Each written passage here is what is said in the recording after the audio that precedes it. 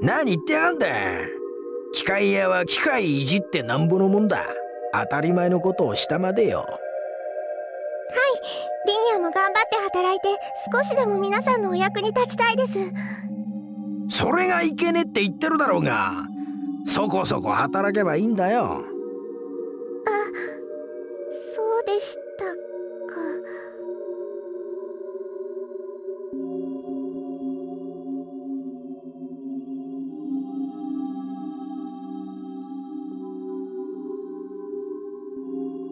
何が？なんでそんなことを聞く？大丈夫だって言ってるだろうが。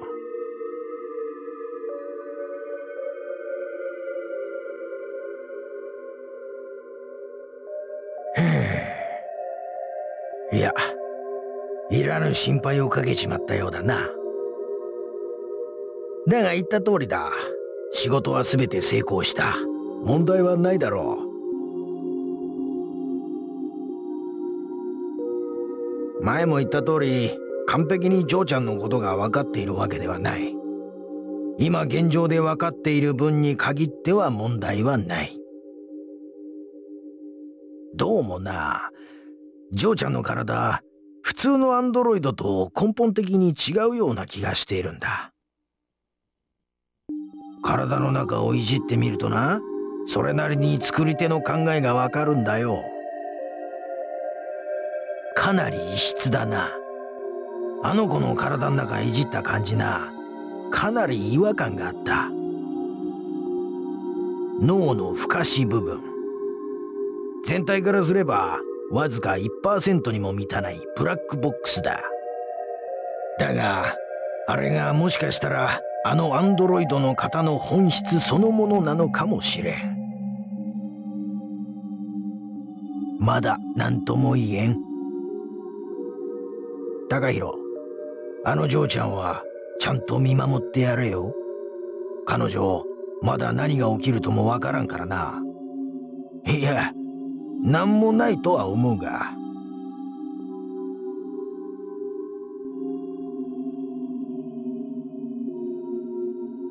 しかしあの子相当大変な目にあってここまで来たのだろうな。嬢ちゃんの体の中が本当にボロボロだったよ。体中擦り切れちまっていてな。痛々しいったらありゃしねえよ。カンパニーに拾われる前スクラップ工場で捨てられるその瞬間まで無理をして歩き続けていたのだろうな。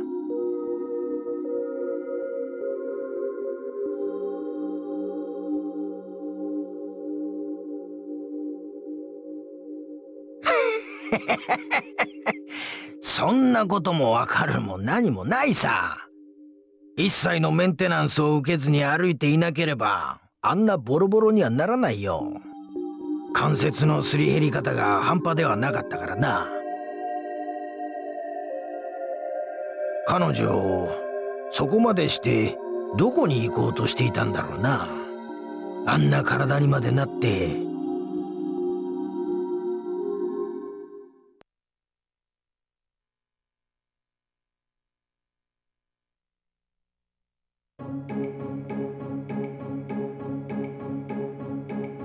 そろそろ飯時だな。弁当食べるか高弘。なんだお前菓子パンかよ。誰かに弁当を作ってもらえるようにならねえといけねえな。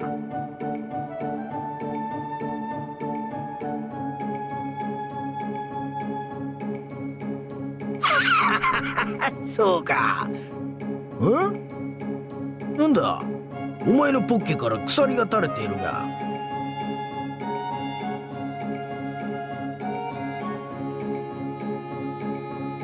今時懐中時計とは珍しいな。こいつはすごいな。ムーンフェイズ。スプリットセコンドクロノグラフ。永久カレンダーまで入ってるのか。複雑時計のイミテーションとしてはやたら凝った作りになってるな。なんでそんなことも知らずに使ってたのかよお前は。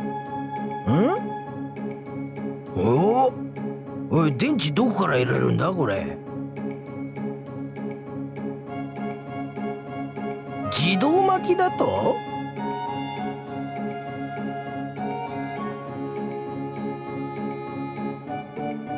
もしかしてこれイミテーションじゃなくて本物なのか？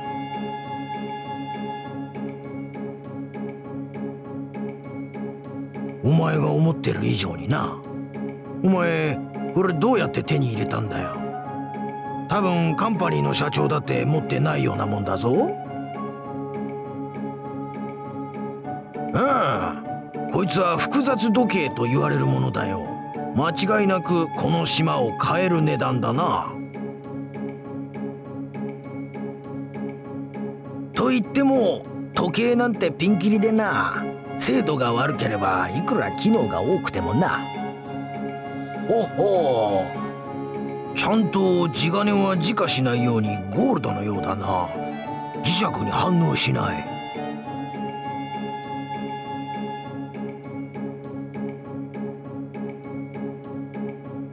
無理だ。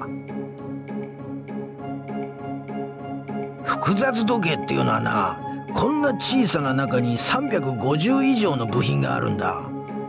そしてその部品一つ一つがただの部品ではないんだよ。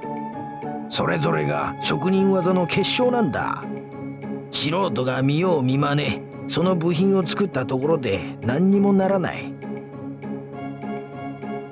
例えばこんな話がある。ウルード氏は100年に一度存在しなくなり400年に一度再び存在する。これに対して大半のコンピューターが正しく機能しない。カレンダーが正しく動くのは一部の機械式時計くらいだと言われている。こんなアナログなものがその職人技によってデジタルを超えることだってある。そういうものだ。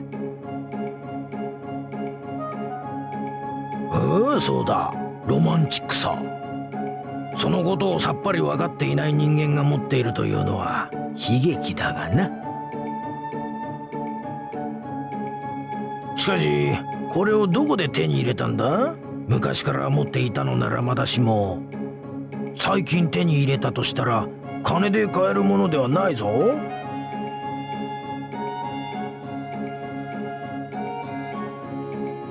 お前んだ？本社に忘れ物をしていたのかお前。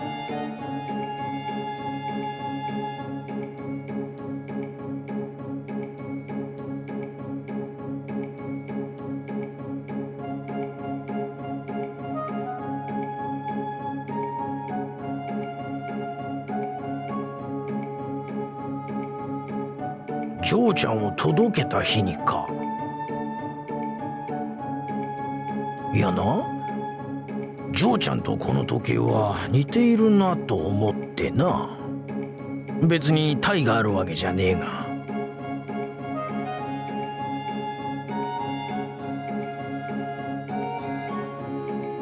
うんそうだな。今じゃほとんど失われた技術だ。誰もあの子を復元することはできない。それはちょうどこの複雑時計のようだな。てと飯も食い終わったし午後の仕事を始めるか。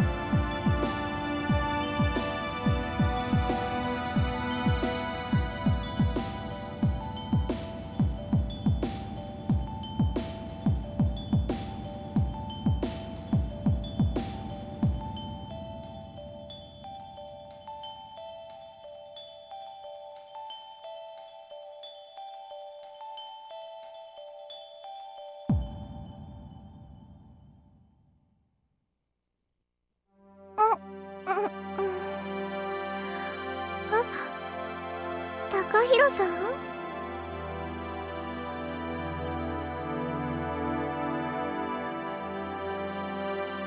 あすみません。あ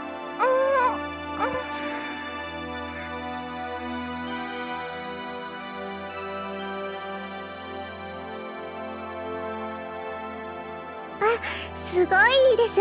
思わずうたた寝してしまうぐらいですから。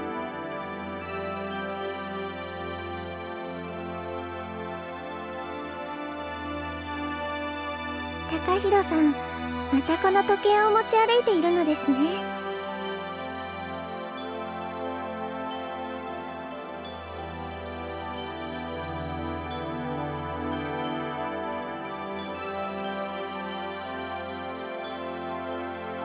また時が刻めるよね。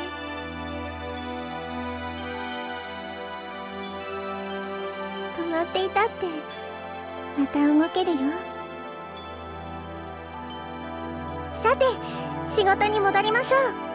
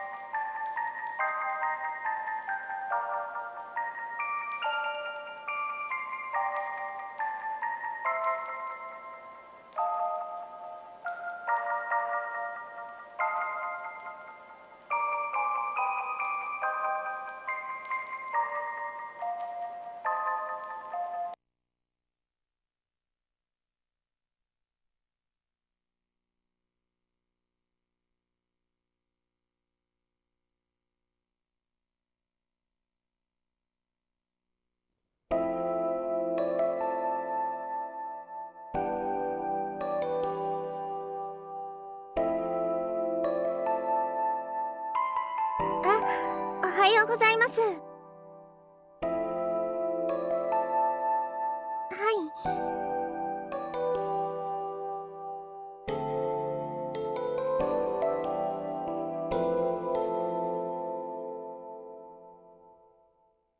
あ朝とかまでリニアと一緒に歩くのは高弘さん嫌かなと思いまして。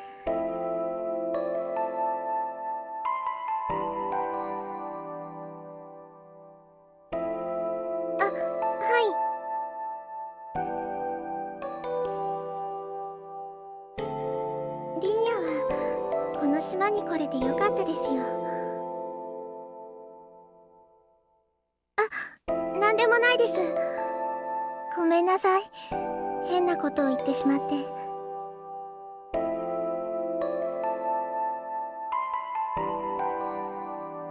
いえ別に何かあったわけじゃないのですが。ただなんか夢を見まして。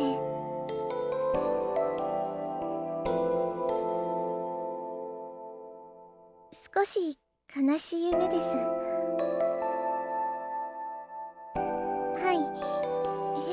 でした。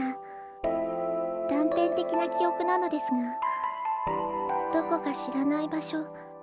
多分ずっとずっと遠くの時間そこに悲しそうな小さな女の子が立っているのです。すごくその子は悲しそうなのですよ。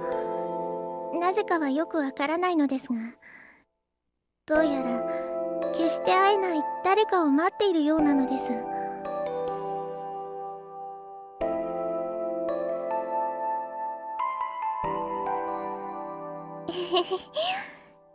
ごめんなさい。どんな夢ですか？